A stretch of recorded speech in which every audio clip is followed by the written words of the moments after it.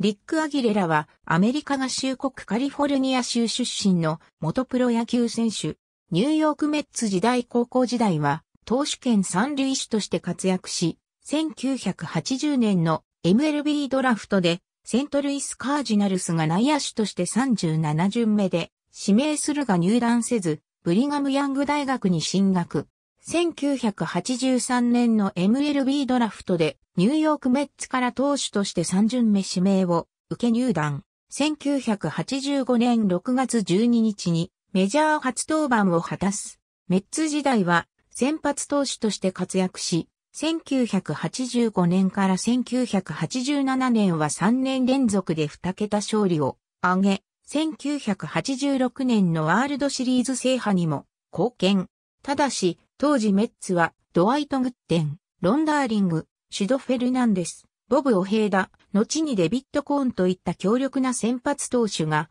在籍し、アギレーラの存在は先発ローテーションの5番手といった存在であった。1986年のヒューストン・アストロズとのナリーグチャンピオンシップシリーズ、ボストン・レッドソックスとのワールドシリーズでも、登板はリリーフによるものだけであった。2勝3敗と追い詰められたワールドシリーズ第6戦では延長10回表に登板して2失点し、その裏も西まで追い込まれ、敗戦投手となるところであったが、メッツ打線の連打と相手投手の冒頭で同点に追いつき、レッドソックスの一塁守備ル、バックナーの痛恨のエラーで逆転サヨナラ勝ちし、アギレラは幸運にも勝利投手となった。1988年は故障もあってシーズンは11試合の登板に終わる。ロサンゼルスドジャースとの地区優勝決定シリーズには救援で登板。1989年はロジャー・マクダウエルの不振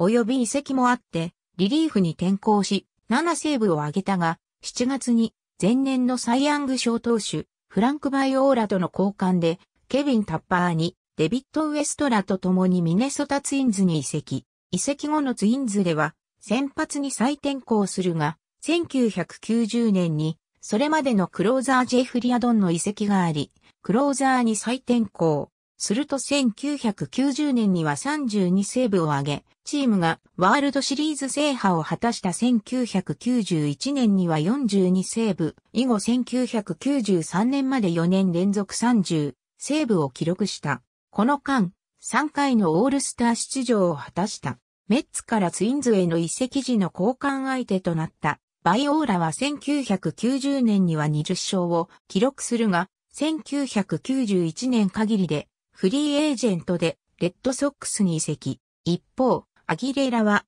クローザーとしてタッパーにはスターターとしてこの年16勝を挙げ、1991年のワールドチャンピオンに貢献している。メッツにとって痛恨のトレードの一つとも言える。1995年には一時ボストンレッドソックスに移籍するが、1996年には再びツインズに戻り、先発に再転向するが8勝6敗に終わり、再びリリーフに転向して1997年には26セーブ、1998年には38セーブと活躍。1999年途中にシカゴカブスに移籍し、29セーブを記録した2000年を最後に現役を引退。2008年シーズン終了時点で通算318セーブはメジャー歴代15位、ツインズで挙げた254セーブは球団記録であったが、ジョーネイさんが記録を更新した。現在はカリフォルニア州サンディエゴ郊外に住み、